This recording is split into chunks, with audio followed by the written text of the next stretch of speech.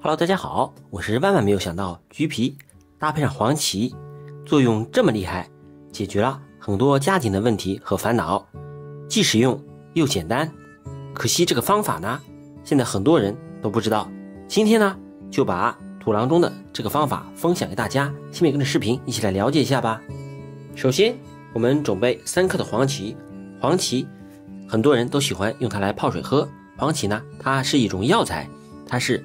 根茎类植物，黄芪它的作用非常的不错，常喝黄芪对身体非常的有益。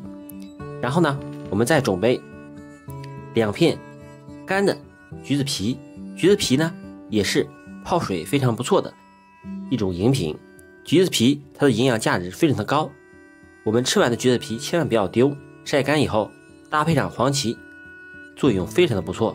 我们把两者放入到水中清洗一下。轻轻抓洗，把上面的灰尘清洗干净即可。黄芪不要在水中清洗时间太久，否则呢，它的营养价值都会被去除掉。橘子皮也一样，全部清洗好以后，我们把它们捞出来，放入到一个养生壶或者砂锅里面，再加入五百到八百毫升的清水，不要着急上火给它煮制，让它们在水中浸泡十分钟。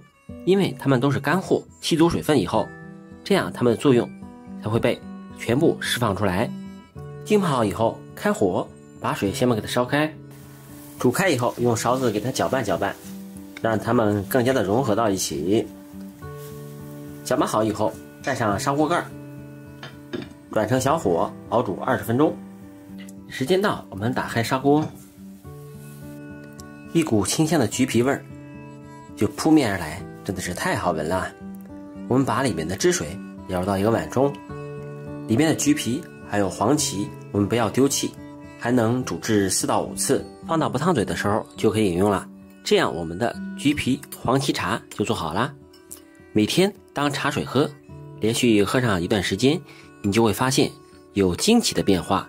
您别看这个食材方法非常的简单，其实它里边包含了老祖宗留下来的智慧与结晶。作用真的是太厉害了，在这里呢说一天一夜都说不完。看到这里，相信有的朋友似乎已经懂了它的作用，把它打到评论区，让大家都知道。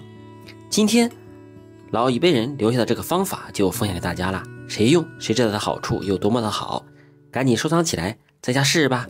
喜欢我的视频就关注我吧，我们下期视频再见，谢谢您的观看。